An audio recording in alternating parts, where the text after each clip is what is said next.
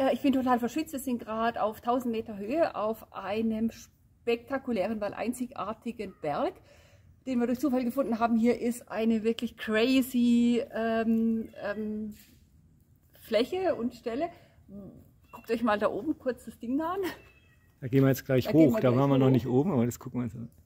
Das ist wirklich durchgeknallt. Ich hoffe, es ist offen. Wir haben noch nicht gecheckt, ob es offen ist. Also das Ganze hier ist ähm, ähm, eine multikulturelle ähm, ähm, Gipfelbesteigung. Hier gibt es nämlich eine, ich komme mal mit, Übrigens auch kommt gerade Nebel. Ich will euch das mal zeigen.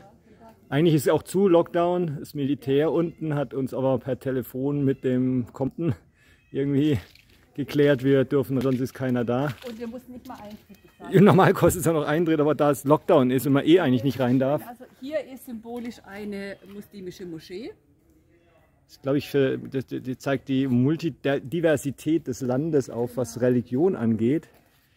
Und das soll das hier oben auch symbolisieren. Das Hier weiter, das ist einfach. ein Das ist einen ne? Hä? Genau, ein Hindi-Tempel. Jupp. Und gleich daneben haben wir hier, was ist denn das da für einer, der da steht? Je, je? Je, irgendwas mit Weihnachten, glaube ich. Genau. Und hier Ist dann der Body Tree, also buddhistisch natürlich hier, ganz leicht zu erkennen. Und hier oben natürlich noch ein bisschen prominenter, haben sie Buddha gleich zweimal untergebracht, weil irgendwie muss man doch noch klar machen, dass die Staatsreligion hier, Was das ist, buddhistisch weiß ich ist. noch nicht. Und das sieht ein bisschen aus wie 100 Wasserorbe. Da gehen wir auch noch hoch, mal gucken. Ja, lass uns doch mal machen. Dann gehen wir mal hoch. Kommt mal da irgendwo an. Drin gibt es irgendwelche Räume, ne? Kann man wahrscheinlich einziehen. Das ist die Toilette oder was? Nee, das sieht aus wie Toilette. Nur nicht fertig. Das ist alles hier noch im Bau, ne?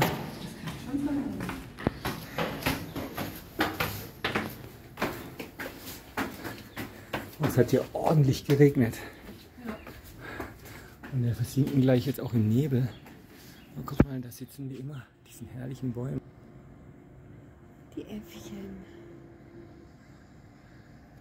Ja, dem juckt's. Boah, jetzt wird's aber eng hier. Und überhaupt. Anderen, deshalb ist er hier. Und überhaupt kein Geländer. Boah, ich passe mit dem Rucksack noch nicht mal durch. Das ganze Kinderding. Boah. Ist, schaut euch mal diesen Baum an hier. Und hier ist jetzt der Turm, den wir jetzt gleich probieren werden. mal gucken, ob Ellen da hochkommt. Ich, ich hätte Zweifel. Warten wir's mal ab. Wir wissen, hast dich gar nicht hier hochgetraut zu mir? Du musst jetzt hier hochkommen, das ist Übung für drüben. Ehrlich? Ja. Das ist aber kein Geländer. Drüben ist ein Geländer, nur so niedrig, dass man locker runterpurzeln kann. Gib mal dein Telefon, ich will ein Foto machen. Filmst du? Ja, ich will. Schade, dass jetzt zuzieht. Vorhin hat man da komplett die Berge da drüben gesehen. Aber wir werden es genau schaffen im Nebel. Bleiben so lange oben hocken, bis wir endlich. Na, guck mal, hast du gesehen den Elefanten, der da unten reinwächst? Ein Tasker, wie wir gelernt haben. Stoßzehenelefanten nennt man Tasker hier. So, jetzt kommen wir zu dem hier. Schauen wir mal. Bis gleich. gleich hoch. Hm, Sehr schön. So, jetzt gucken wir mal, ob hoffentlich die Türe offen ist und wir hier reinkommen. Da steht eine Türe offen. Perfekt. Gucken wir mal.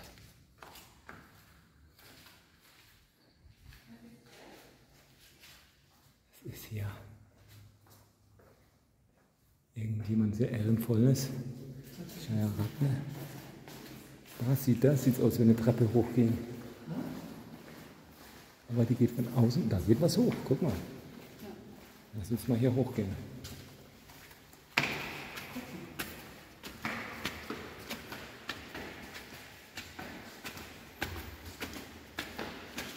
sieht gut aus. Hier gehen wir mal weiter. Erste kleine Aussichtsplattform. Uh, not bad.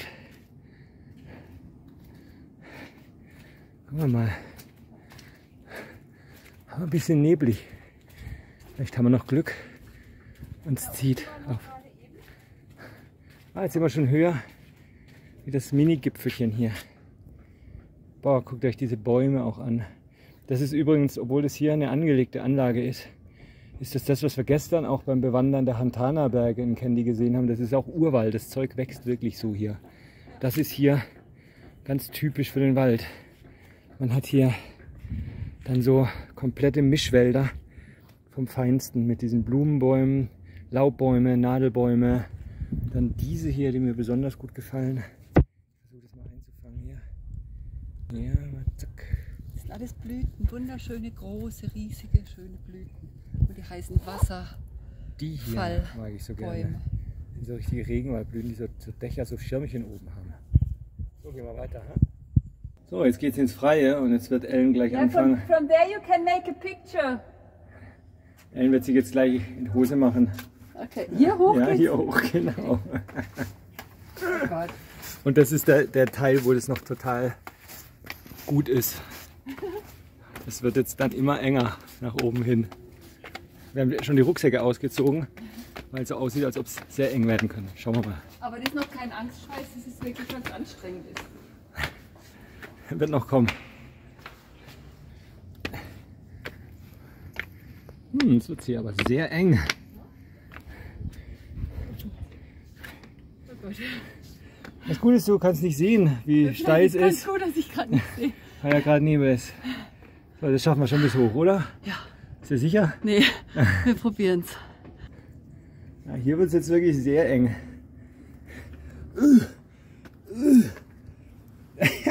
Hier kommt niemand vorbei, der mehr als 90 Kilo hat. Ja, und zeig mal, dass du noch keine 90 Kilo hast. Ja, ist ein bisschen neblig hier. Komm mal, geh mal weiter. Ha?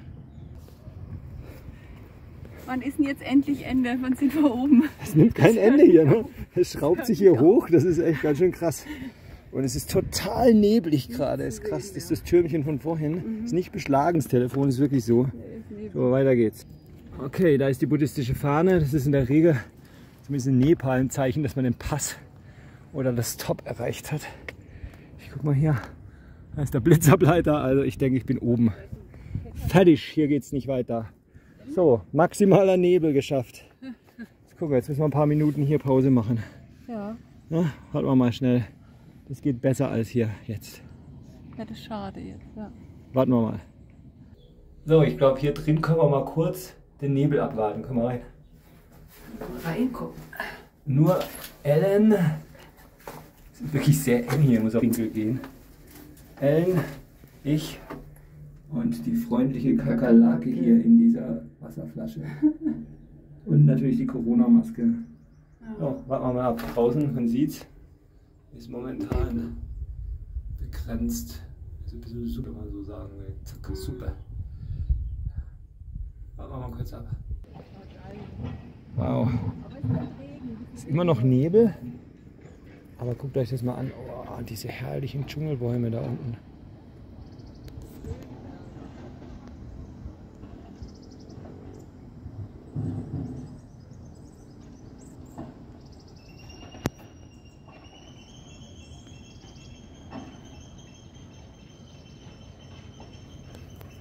Mal weitergehen.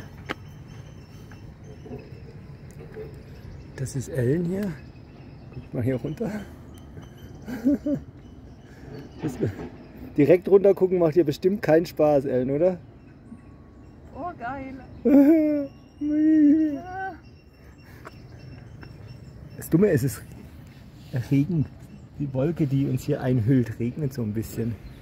Aber das ist ja Wahnsinn.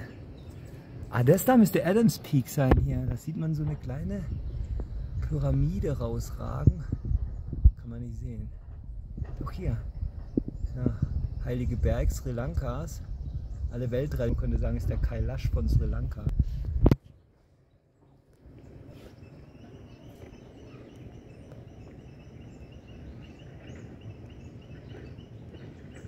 Die Kamera hat mit dem Nebel etwas Probleme, scharf zu stellen.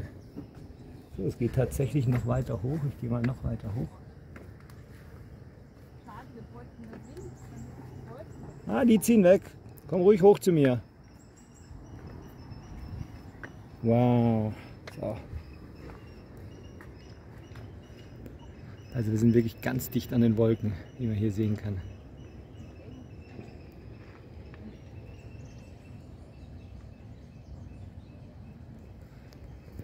Das ist ein verrücktes Ding hier. Ich bin hier wirklich im Überhang. Es ist also wirklich senkrecht hier. Ich bin oben. Ja, und das sogar mit Aussicht. Ja. Guck dir mal, die Bäume finde ich einfach den Bringer. Ne? Das sind absolut die schönsten. Ja. Schon mal hier ganz viele davon. Ah, jetzt fängt's richtig an Neben diesem Nadelwald. Ja, aber da wir eh nass geschwitzt sind, das sind diese wunderschönen Whirlbäume und hier unten sind dann diese herrlichen, herrlichen Blütenbäume. Das ist Wahnsinn. Wenn wir Glück haben, kriegen wir dafür einen Regenbogen geboten. Was meinst du denn? Warten wir mal noch Der eine kalt Sekunde ist ab. der Regen hier. Kalt. Ja, wir sind auf über 1000 Meter. Ne? Das müssten Ja. hier jetzt 1050, vielleicht sogar 1100 sein. Also schon recht hoch. Brr. Wir ziehen jetzt die. Nebelschwaden hier rüber. Siehst du auch wirklich, wie er überall hochsteigt. Quasi jetzt Nebelwald. Ne? Eine sehr zivilisierte Form des Nebelwaldes, aber ich denke, faktisch gesehen entspricht es tatsächlich genau dem, was man als Nebelwald bezeichnet. Das sind in den Bergen, das ist echter Dschungel, das ist nichts Angelegtes hier oben. Hier ziehen die Nebelschwaden durch. Aber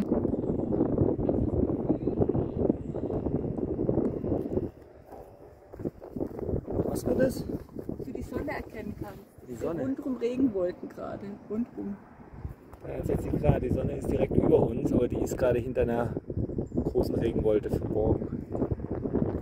Aber jetzt haben wir doch einen ganz schönen Ausblick schon gehabt, Ja. auch wenn wir einen ganz großen Gebirgsblick nicht hatten, weil es doch ein bisschen neblig ist.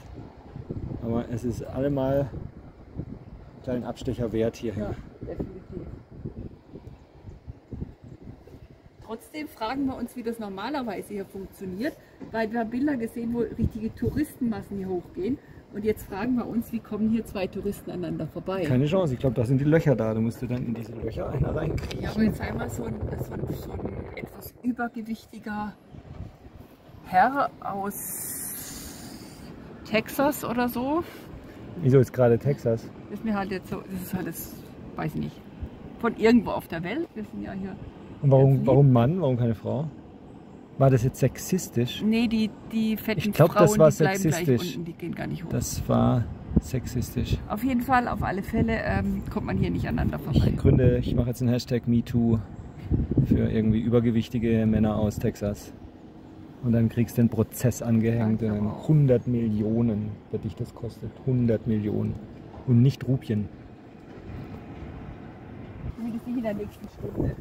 Also, dann wir runter. Autsch, das war mein Kopf. Das ist ein bisschen flach. Das ist ein bisschen doof. Also auch äh, großgewachsene texanische, schlanke Herren hätten hier Probleme. Und Damen. Und Damen. Und Transgender. Und Kinder. Und äh, Ameisen, Hunde. Das ist in Buddhi- Buddhistland. Ne? Sehr hoch. Steine. Stell dir vor, du bist ein schwerer Stein aus Texas, großgewachsen, über zwei Meter, kommst hier nicht hoch. Müssen wir irgendwie vielleicht ein Gesetz machen, dass der Stein aus Texas irgendwie auch zu seinem Recht kommt. Weil was haben wir für ein Recht, dem Stein aus Texas seine Besteigung des Turmes zu untersagen?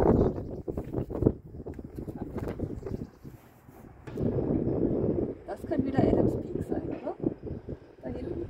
Ich glaube, der müsste weiter weg sein. Außerdem ist er weit über 2000. Der ist zu, der ist zu nah, glaube ich. Ne? Aber man sieht hier auf jeden Fall nochmal schön, wie bergig dieses Land hier überall ist. Also für Trek Trekking-Begeisterte kann man hier sich viele Wege noch erschließen. Man muss bloß leechfest sein, also blutegelfest sein, weil hier hat es sehr, sehr viele. Zwei Minuten Gras laufen, mindestens fünf Leeches.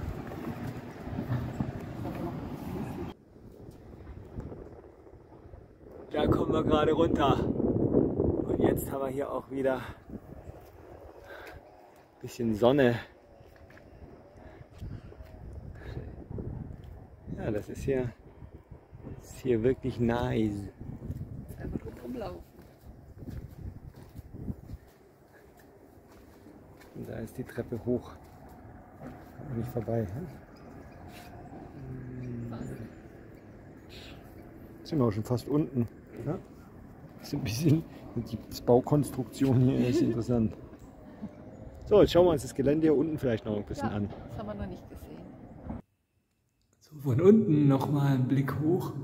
Wirklich spektakulär eigentlich. Wenn man da so reinzoomen kann. Durch diese Ebenen durch. Hat sowas auf Powers of Ten. Powers of Ten, Ray, Ray Charles Eames, oder von wem ist denn das? Ein Powers of Ten, von wem ist das? Ich weiß ich nicht mehr, ich will jetzt nichts Falsches sagen. Ich glaube, das waren Eames. Ich hätte auch gedacht, Ja, ja. Eames, ne? Ja, oh Gott. Jetzt haben wir es auf dem Video, müssen wir es rausschneiden. Oh, wait, wait, wait. So, jetzt wo wir wieder abgestiegen sind, doch noch komplett blauer Himmel. Aber es sieht auch von hier unten toll aus. So, und damit verabschieden wir uns mit der knipsenden Ellen. Das Bild können wir dann bestimmt auf dem Blog wiederfinden, was sie da gerade macht. Ich glaub nicht Sag Tschüss. Tschüss.